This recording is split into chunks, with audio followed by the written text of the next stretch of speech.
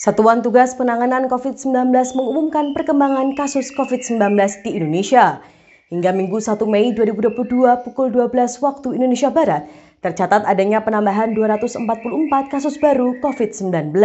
Penambahan tersebut menyebabkan total kasus COVID-19 di tanah air saat ini mencapai 6.047.040, terhitung sejak kasus pertama diumumkan Presiden Joko Widodo pada 2 Maret 2020. Informasi ini juga bisa diakses publik melalui situs covid19.go.id. Adapun berdasarkan data yang sama, pasien sembuh infeksi COVID-19 pun mengalami peningkatan. Dalam sehari jumlahnya bertambah 633 kasus. Dengan demikian, jumlah kasus sembuh di Indonesia hingga saat ini mencapai 5.883.293. Sementara jumlah kasus kematian setelah terpapar COVID-19 juga terus bertambah. Pada periode 27 hingga 28 April 2022, terdapat 16 kasus kematian. Maka secara kumulatif kasus kematian akibat COVID-19 kini mencapai 156.273.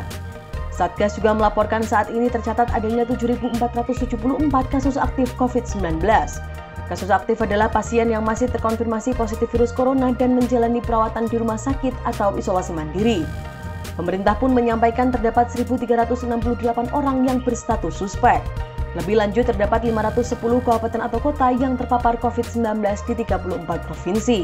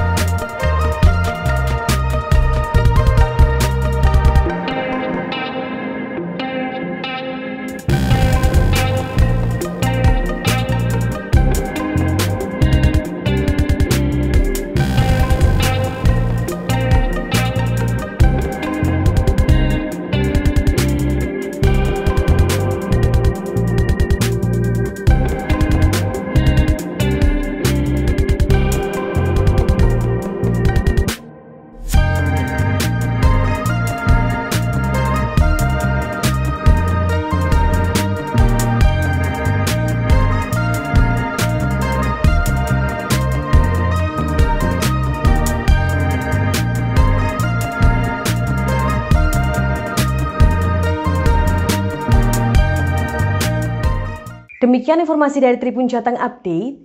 Saksikan terus Tribun Jateng Update hanya di channel YouTube Tribun Jateng.